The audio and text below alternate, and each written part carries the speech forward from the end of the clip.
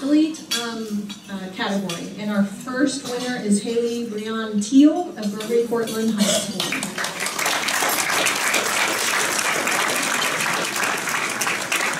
Haley has conquered challenge after challenge, welcoming each experience as a chance to grow and learn and emerging as one of the most motivated and well-rounded young women at Gregory-Portland High School. As a student athlete, Haley demonstrates a love of learning and the level of commitment necessary to succeed in college and beyond.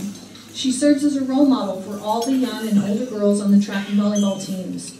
She is with the girls in tough times and is there to hug and high five them when they accomplish their goals.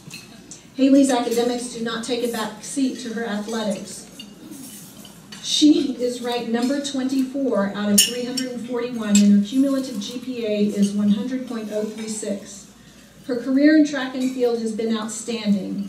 A few highlights are in her freshman year, district first place in shot put, third place in district, regional second in shot put, eighth in discus, state ninth in shot put.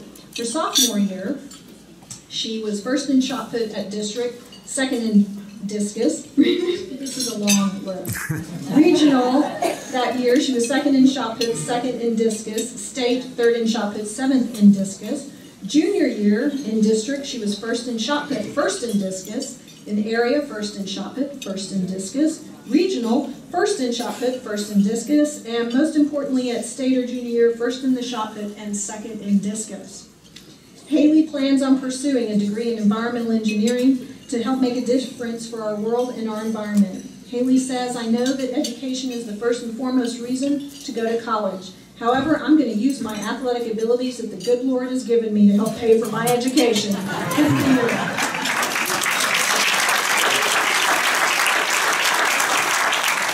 Her biggest dream of all is to one day make it to the Olympics.